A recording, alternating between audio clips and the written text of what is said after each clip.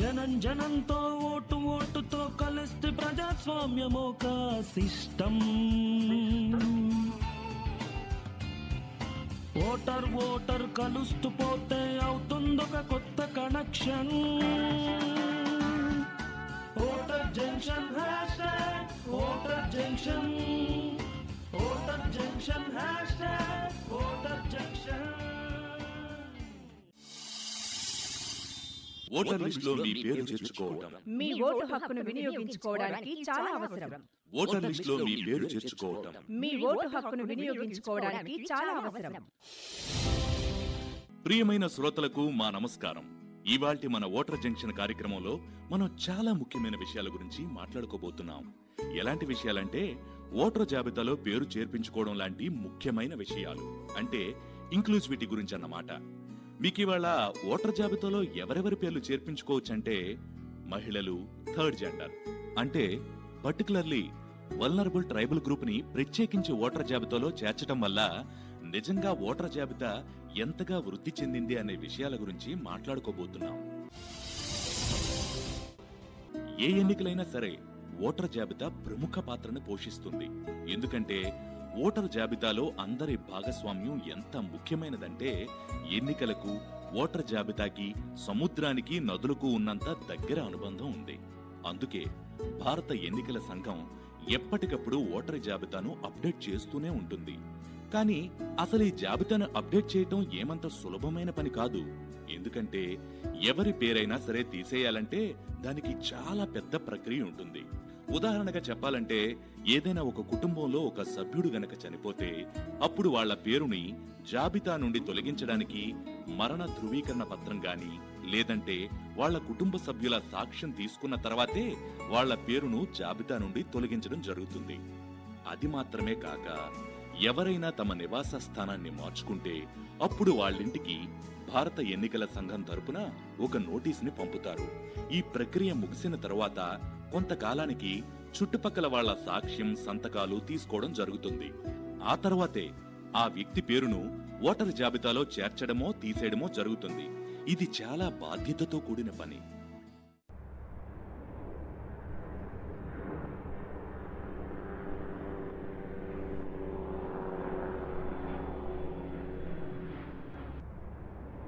అరే మనం ఇప్పుడు ఎక్కడికి వచ్చాం ఇదేదో airport lobby లాగుందే.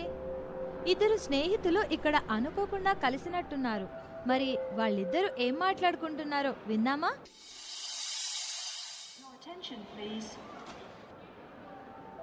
Hey Aravind what's up friend after a long time Shiva నువ్వు ఈ ఫ్లైట్లో ఇండియాకు వస్తున్నావా?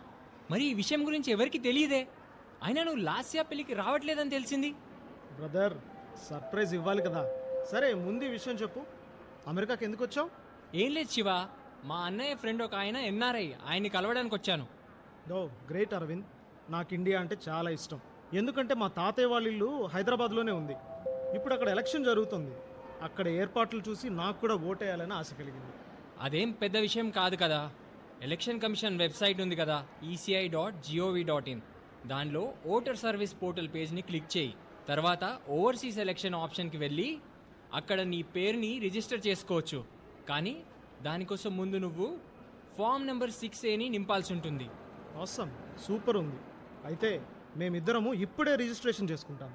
నిజంగా ఇప్పుడు లాస్య పెళ్ళిలో కలవడం చాలా ఎక్సైటింగ్గా ఉంటుంది కదా? ఎస్ అఫ్ కోర్స్ అక్కడ కలుద్దాం. See you there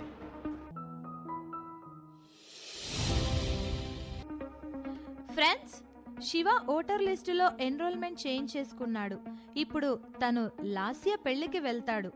అది సరే మరి పెళ్ళి కూతురు లాస్య ఎక్కడుంది? సరే పదండి చూద్దాం.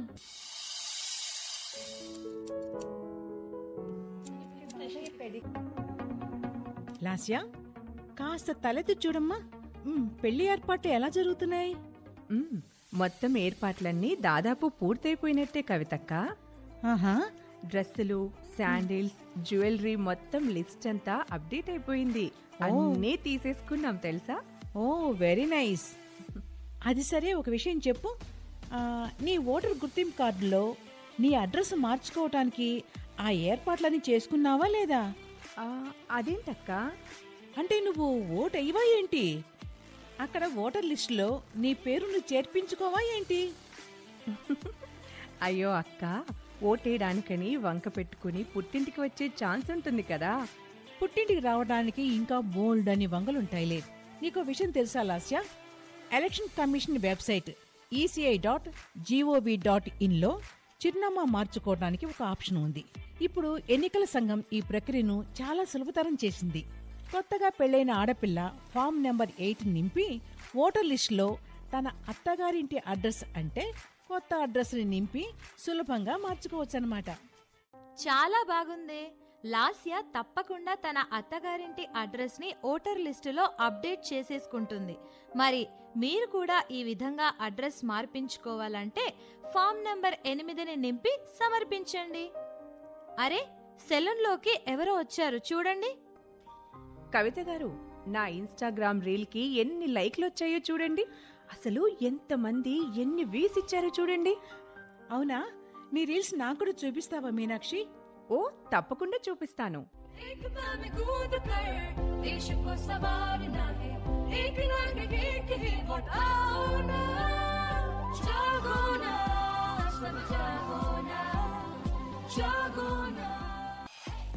ప్రియమైన సోదర సోదరి మనులారా మీ ఓటుకు ఉన్న శక్తిని గుర్తించండి.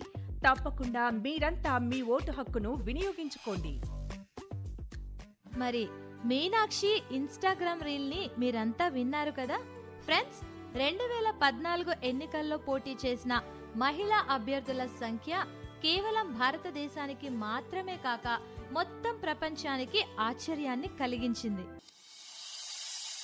मेरा नाम सुप्रीत कौर है मैं एक मॉडल और एक्ट्रेस हूँ अभी हाल में मिसेस यूनिवर्स जेनरस का खिताब लेते हुए मैंने यही कहा था कि भारतीय होने का गर्व मुझे इसलिए है कि मेरे देश का संविधान मुझे एक जिम्मेदारी की नागरिकता देता है मैं इस माध्यम से आप सबको निवेदन करना चाहती हूँ कि बिना भेदभाव आप सबको मतदान का अधिकार है चढ़कर मतदान सूची में एनरोलमेंट करवाएं वोट कीजिए जिम्मेदार बनिए ఓటరు లిస్టులో అందరి పేర్లు అప్డేట్ చేయడానికి భారత ఎన్నికల సంఘం ఎంతగానో ప్రయత్నిస్తోంది అది మాత్రమే కాక ఎన్నికల్లో పోటీ చేసే మహిళా అభ్యర్థుల సంఖ్యను పెంచడానికి కూడా కృషి చేస్తోంది. అంతేకాదు బలహీన వర్గాలైన కొండ ప్రాంతాలు అటవీ ప్రాంతాల్లో నివసించే ఆదివాసులు థర్డ్ జెండర్ పీడబ్ల్యూడి అంటే దివ్యాంగులు అలాగే వృద్ధుల పేర్లను ఓటర్ లిస్టులో చేర్చడానికి చాలా కృషి చేస్తోంది. దివ్యాంగులు సక్షం యాప్ ద్వారా చాలా తేలిగ్గా తమ పేరును ఓటర్ లిస్టులో చేర్పించుకోవచ్చు. సక్షం యాప్ ద్వారా అనేక విధాలైన సౌకర్యాలను వాళ్ళు పొందటానికి వీలవుతుంది. సక్షం యాప్ని డౌన్లోడ్ చేసుకోవడం చాలా సులభం. ఇది ఆండ్రాయిడ్ మరియు ఐఓఎస్లలో అందుబాటులో ఉంది. నా పేరు కర్ణాటి శ్రీనివాస్. నేను హండ్రెడ్ పర్సెంట్ దృష్టి లోపం కలిగినటువంటి వ్యక్తిని దివ్యాంగుడను ప్రభుత్వ ఉపాధ్యాయుడిగా పనిచేస్తున్నాను సూర్యాపేటలో. భారత ఎన్నికల సంఘం భారతీయ పౌరులకు ఓటు హక్కును వినియోగించుకునేటువంటి విషయంలో అనేక రకాల సదుపాయాలను కల్పిస్తూ ఉన్నది. భారత ఎన్నికల సంఘం తయారు చేసినటువంటి సాక్ష్యం యాప్ అనే దాన్ని గడిచినటువంటి తెలంగాణ రాష్ట్ర శాసనసభ ఎన్నికలలో దృష్టిలోపం కలిగినటువంటి శారీరక అంగవైకల్యం కలిగినటువంటి దివ్యాంగులము ఎంతగానో యూజ్ చేసుకున్నాం దీన్ని. ఇది సులభముగా ప్లే స్టోర్ నుంచి డౌన్లోడ్ చేసుకోవచ్చు. అంతేకాకుండా దీన్ని సులభముగా నావిగేట్ చేయొచ్చు. టోటల్లీ విజువల్లీ ఇంపైర్డ్ కూడా ఎలాంటి బ్యారియర్స్ లేకుండా ఈ యాప్ను నావిగేట్ చేయొచ్చు. మనకేమన్నా రిక్వైర్మెంట్ ఉందా అనే దాన్ని యాప్లో అలా మేము నమోదు చేసుకున్నాము. అంటే వీల్ చైర్ కావాలి అని చెప్పేసి మా మిత్రుడు ఒకతను నమోదు చేసుకోవడం జరిగింది. ఎందుకంటే ఆయన రెండు కాళ్ళు పరిచయం. తాను బండి మీద కూర్చోగలుగుతాడు తప్ప కనీసం డేక్కుంటూ వెళ్ళే పరిస్థితి కాదు కాబట్టి ఆయన వీల్ చైర్ రిక్వైర్మెంట్ పెట్టుకోవడం జరిగింది. అలాగే నేను నూరు శాతం అందుడను కాబట్టి నాకు బ్రైలీ బ్యాలెట్ పేపర్ నమూనా పేపర్ కావాలి అని చెప్పేసి నేను కూడా రిక్వైర్మెంట్ పెట్టుకోవడం జరిగింది. ఇలా ఈ యొక్క యాప్ దివ్యాంగులమైనటువంటి మాకు ఎంతగానో ఉపయోగకరంగా ఉంది. ఇక ఇప్పుడు chief election commissioner Rajiv Kumar గారు ఏమంటున్నారో విందాం. हमारे पास जो इलेक्ट्रल रूल है, उसमें अधिक से अधिक पीडब्ल्यूडीज अपना नामांकन करें और साथ ही साथ उनको वोटिंग की पूरी सुविधा मिले। इलेक्शन कमीशन अपना ये रिजॉल्व दोहराता है कि पीडब्ल्यूडी वोटर्स 100 परसेंट हमारे रोल में शामिल हों। उनके मतदान की प्रक्रिया चाहे वो घर से करना चाहें, चाहे वो बूथ पर आना चाहें वो पूरी तरीके से समावेशी हो और सुगम हो इंक्लूसिव हो और एक्सेसिबल हो हम इसमें जितना भी इनोवेशन करना है और जो भी टेक्नोलॉजी का यूज़ करना है उसके माध्यम से इसको पूरी तरीके से इंक्लूसिव और एक्सेसिबल बना रहे हैं और आगे भी शत प्रतिशत बनाएंगे కేరళలో రెండు వేల ఇరవై రెండులో జరిగిన శాసనసభ ఎన్నికల్లో భారత ఎన్నికల సంఘం థర్డ్ జెండర్కి భాగస్వామ్యం కల్పించేందుకు రాష్ట్ర స్థాయిలో వారిని క్యాంపెయినర్లుగా నియమించింది. వాళ్ళ ద్వారా ఓటర్లకు అవగాహన కల్పించే ప్రయత్నం కూడా చేసింది. నా పేరు లైలా. నేను ఒక ట్రాన్స్ మహిళను. రీసెంట్లీ నన్ను తెలంగాణ ఎలక్షన్ కమిషన్ వల్ల ఐకాన్గా తీసుకోవడం జరిగింది. మరీ ముఖ్యంగా మన ట్రాన్స్జెండర్ వ్యక్తులకు నేను రిక్వెస్ట్ చేసేది తెలంగాణ రాష్ట్రంలో తెలుగు రాష్ట్రంలో మన ఓటు లిస్ట్ ప్రకారం చూసుకుంటే మనం చాలా తక్కువ మందిని కనిపిస్తున్నాం. కాబట్టి మనం అందరం కూడా థర్డ్ జెండర్ కాలంలో ట్రాన్స్జెండర్ కాలంలో ఓటు నమోదు చేసుకోవాల్సిన అవసరం ఎంతైనా ఉంది. మనం అందరము ఆ ఓటరుగా నమోదు చేసుకోవడమే కాకుండా హండ్రెడ్ పర్సెంట్ మన ఓటు హక్కును వినియోగించుకోవాలి. ఎలాంటి ప్రూఫ్ పెట్టకపోయినా మన సెల్ఫ్గా మనకి ట్రాన్స్జెండర్ వ్యక్తులుగా గుర్తించుకొని మనము ఫామ్ సిక్స్ కనుక నింపినట్టయితే మనకి ఓటర్ ఐడి వస్తుంది. నేను అందరికీ మరొకసారి మన తెలుగు రాష్ట్రాల్లో ఉన్న యువతి యువకులతో పాటు మన ట్రాన్స్జెండర్ వ్యక్తులందరికీ కూడా రిక్వెస్ట్ చేస్తున్నాను. మనం హండ్రెడ్ పర్సెంట్ ఓటు హక్కును కలిగి ఉండాలి. హక్కుగా ఓటును వినియోగించుకోవాలి. మిత్రులారా సుదూరంలో ఉన్న ప్రాంతాల్లో అలాగే చేరుకోవటానికి అత్యంత కఠినంగా ఉండే కొండ ప్రాంతాల్లో నివసిస్తున్న వారి కోసం ఎన్నికల సంఘం నిరంతరాయంగా అనేక రకాలైన ఏర్పాట్లు చేస్తోంది. వాళ్ళు తమ ఓటు హక్కును వినియోగించుకోవటానికి చాలా కృషి చేస్తోంది. నా పేరు శిరీష. మాది భద్రాద్రి కొత్తగూడెం డిస్టిక్ దుమ్మగూడెం మండలం నడికొడి. మాది చాలా ఏజెన్సీ ప్రాంతం అండి నేను ఒక ఆదివాసిని. మాకు రీసెంట్గా జరిగిన ఓటింగ్లలో ఓట్లు వేసాం మేమంతా. చాలా హ్యాపీగా ఉంది. ఇంతకు ముందు మాకు ఓటు వేయడానికి మా దగ్గర ఉండేది కాదు. పక్కూరు వెళ్ళి వేసి వచ్చేవాళ్ళం ఇప్పుడు మాకు మా ఊర్లోనే స్కూల్లోనే ఆ సదుపాయం ఉందండి. ఇప్పుడు మా దగ్గర అందరూ చాలా మంది ఓటు వేస్తున్నారు. చాలా హ్యాపీగా ఉంది. మ్మ్, ఇప్పుడు మన శ్రోతల్ని ప్రశ్న అడగాల్సిన సమయం ఆసన్నమైంది. ఇక ఇవాల్టి ప్రశ్న ఏంటంటే దివ్యాంగుల పేర్ల రిజిస్ట్రేషన్ మరియు వాళ్ళకు కల్పించే సౌకర్యాల కోసం తయారు చేసిన యాప్ పేరేంటి? మీరు మీ సమాధానాల్ని మా వాట్సాప్ నంబర్ తొమ్మిది తొమ్మిది తొమ్మిది తొమ్మిది సున్నా మూడు ఒకటి తొమ్మిది ఐదు సున్నాకి పంపించాల్సి ఉంటుంది. కిందటి ఎపిసోడ్ క్విజ్లో గెలుపొందిన విజేత ఎవరంటే సంజయ్ కుమార్ మీనా ఫరీదాబాద్ హర్యానా. మీకు హృదయపూర్వక ధన్యవాదాలు. ఇప్పుడు మనం ఒక ఇంట్రెస్టింగ్ ఫ్యాక్ట్ గురించి తెలుసుకుందామా?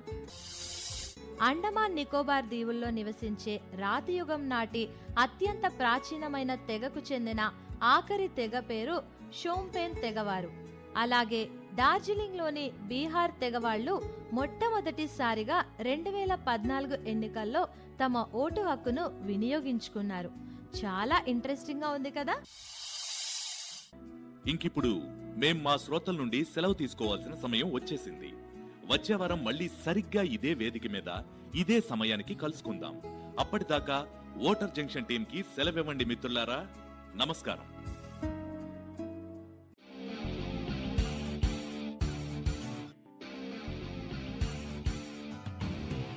జనం జనంతో ఓటు ఓటుతో కలిస్తే ప్రజాస్వామ్యం ఒక సిస్టమ్